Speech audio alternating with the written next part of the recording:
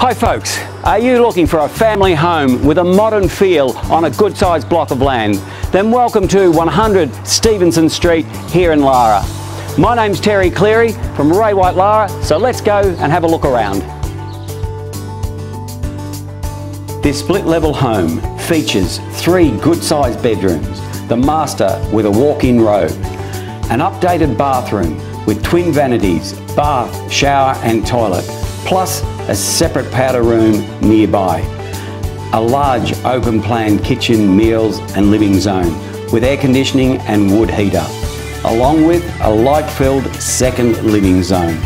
Outside, an undercover barbecue area, a large two car garage and a large two car carport. All set on a great 825 square metre block with a semi-rural outlook. Folks, we hope you've enjoyed the tour and we look forward to seeing you at our next inspection.